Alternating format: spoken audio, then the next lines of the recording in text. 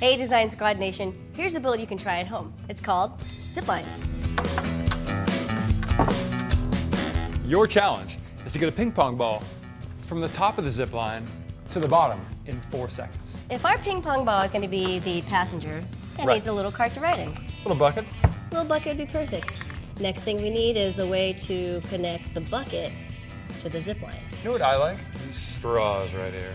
Mm-hmm.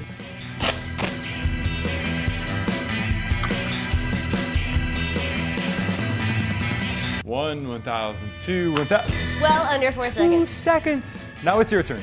Build your own ping pong carrying zip line and send a picture or sketch to the Design Squad Nation website.